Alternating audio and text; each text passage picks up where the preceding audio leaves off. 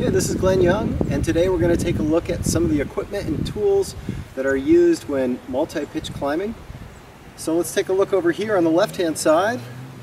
We have a 60 meter, 9.2 millimeter width climbing rope, dynamic climbing rope by Petzl. That's a great rope. It has really good handling. Moving over, these are some items that I include attached to my harness. You know, I work as a guide, so I might be bringing a few things that uh, recreational climbers might not always bring.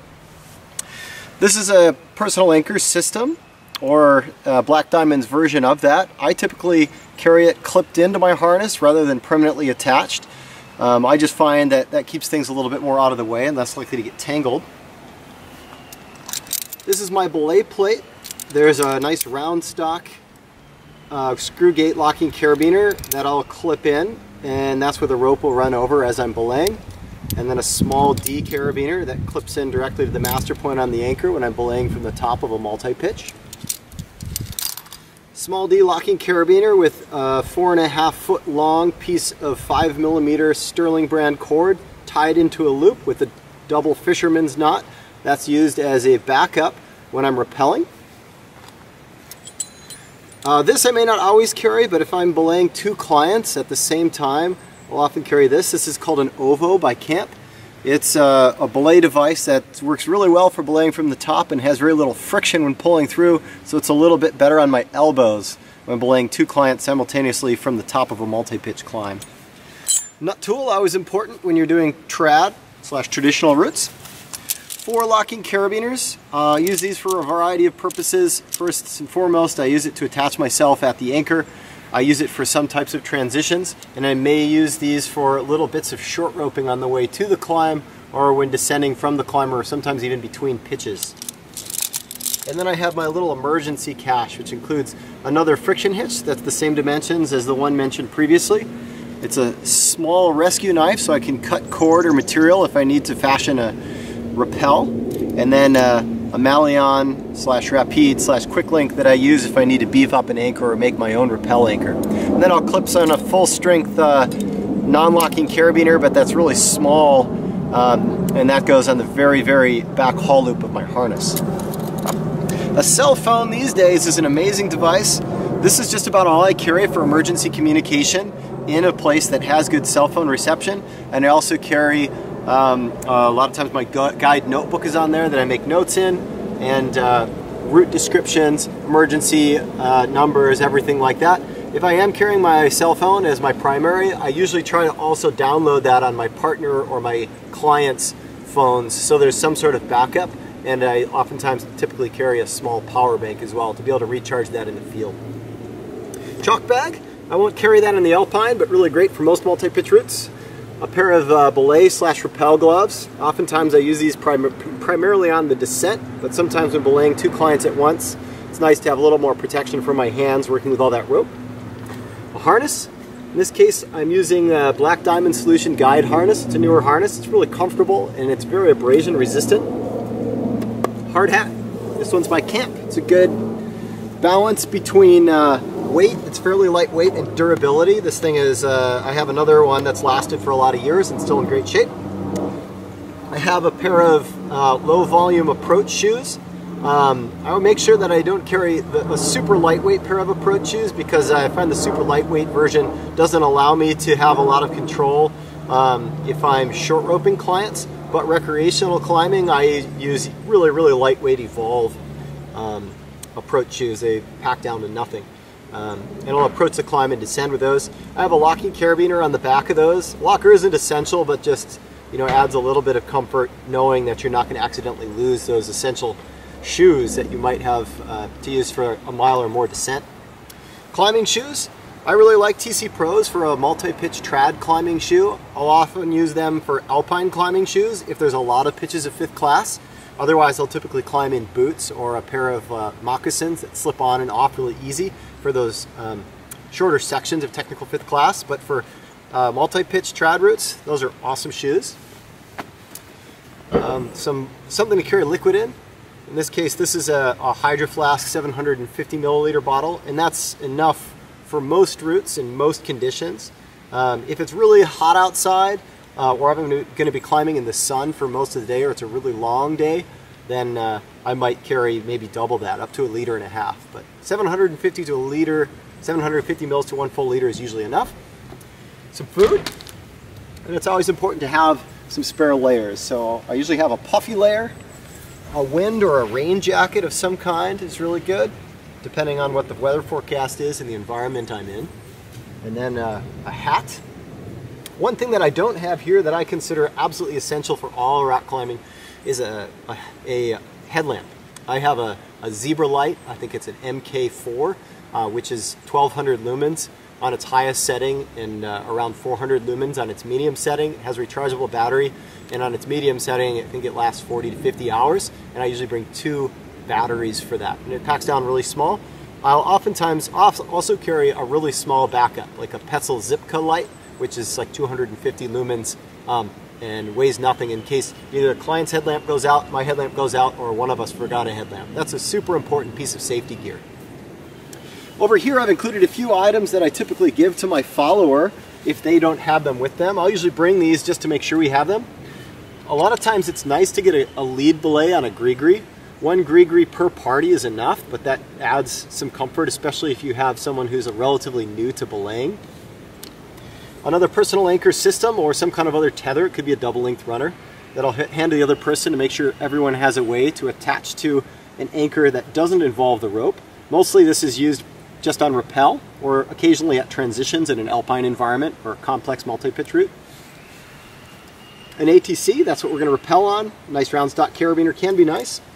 And then uh, another locking carabiner. This is a, a um, Magnetron carabiner by Black Diamond. And I like these specifically when I'm short roping. I'll attach someone with just a single locking carabiner like this that really can't come undone. But otherwise, screw gate is fine. And if you're going to be clipped in for a long time um, into the middle of a rope, then two screw gates is enough to add the security that you need. Okay, we're going to continue taking a look at the technical gear that you might want to bring with you on a multi-pitch trad climb. What I'm about to show is also a really good rack to bring with you if you happen to be a first-time trad climber or if you're looking at buying a rack and you don't have one currently. We'll start at the top and starting on your right here we have a number four Black Diamond Camalot. All of these cams here happen to be Camalots from Black Diamond uh, which is a really good first cam to buy. They're a good balance of durability and weight. People are really familiar with them and there's whole guidebooks set up on their sizing. So number four is the largest size. I just have a single number four cam. There are certain routes where you might want more, but again, this is a general rack that works well for uh, starting out, purchasing your first trad rack. Then we have two number three cams, two number twos, two number ones, 2.75s, 2.5s, 2.4s, and 2.3s, and that's the smallest in this particular rack. And then we go down to a selection of nuts. These nuts here um, are the, the uh, Black Diamond, I believe it's uh, size number 5 to 11 nut, but I'll take a take a look, is a really good first uh, nut set to buy.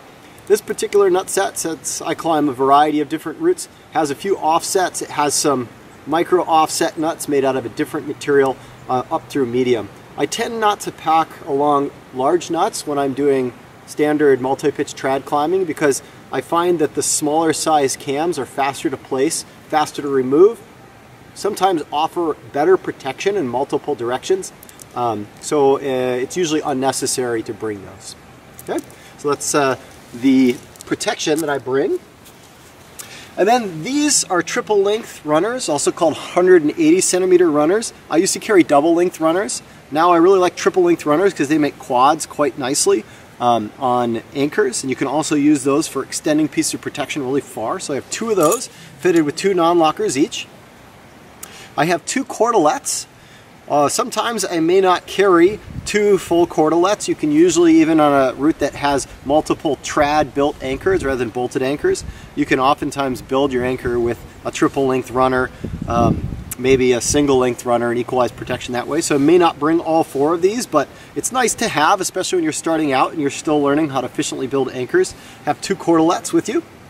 Um, and that way, if you have two trad build anchors, you can leave both one a at the anchor station below you and still have a cordelette.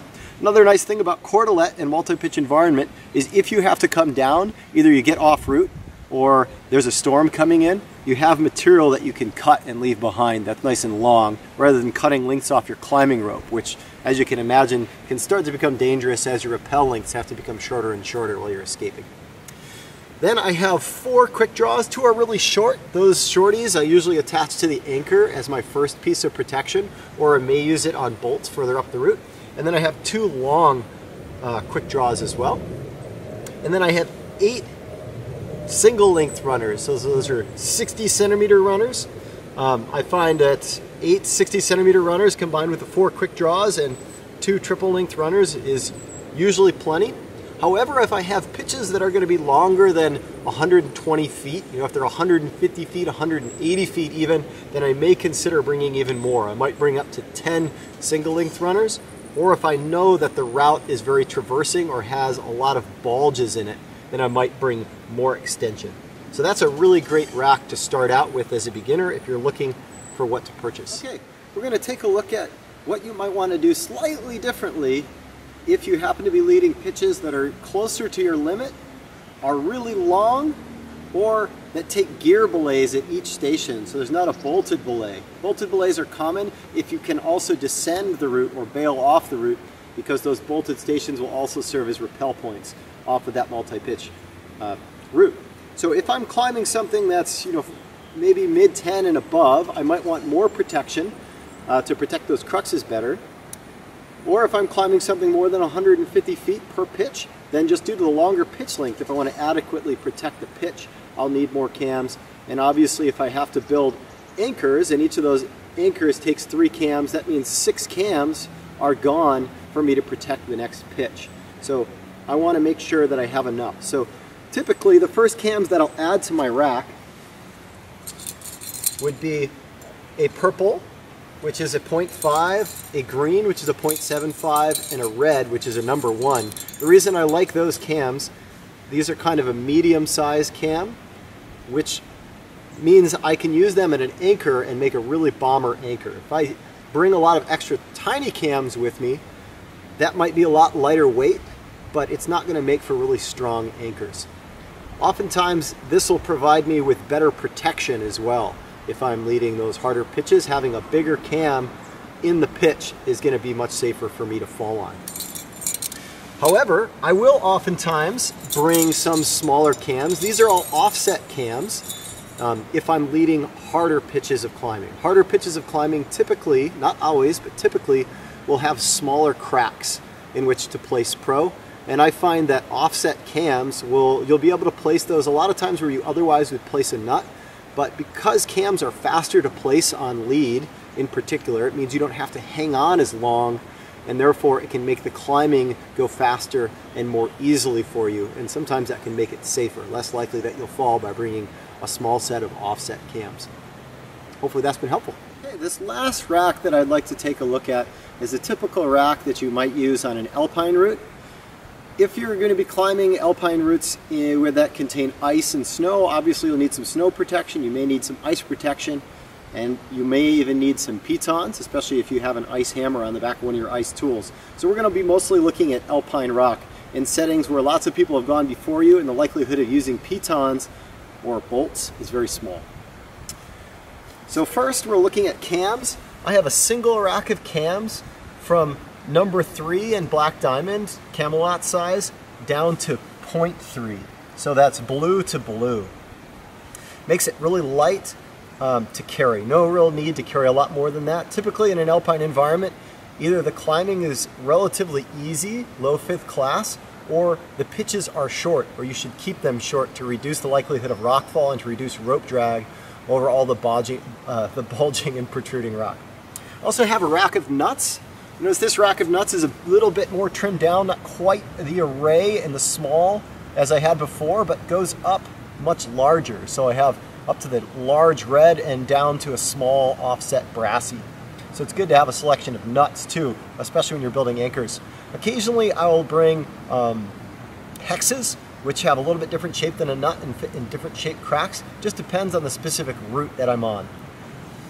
And having more information on the specific route and the length of the pitches, the difficulty of the pitches, may cause me to bring more or less gear depending. For anchor construction, I have a triple length runner. It's still relatively common to find bolts in an alpine environment, especially for the descent. So having a triple length runner can still be nice, depending on where you're at. I have two cordelettes. Those cordelettes are long enough that I can use them to encircle horns and things like that to leave behind as anchors. And it also provides me enough material that I can cut the material in case I need to bail off an alpine ridge with incoming weather. I've included a different harness here. This is the Petzl Sitta harness. It's a really lightweight, compact harness, so it's easy to carry inside my backpack because it has such low volume. And it's also really light, which is nice because it's less weight in my pack and less weight on me when I'm actually climbing. In an alpine environment and also sometimes in multi-pitch, especially if there's complex descents, um, I might bring a um, locker draw. Locker draw is really helpful for transitions. And in some of our advanced videos, we'll be going into what some of those transitions look like and how a locker draw can be really handy for that. I also have a double length nylon runner with a locking carabiner on it. This is what I typically substitute for my personal anchor system in the Alpine because it's a little bit more versatile. And then I have just five simple pieces of extension. Each one of these is a 60 centimeter runner with two non-locking carabiners on it. And I find that's usually sufficient for the technical climbing and short duration of that type of climbing in an alpine environment with those short pitches.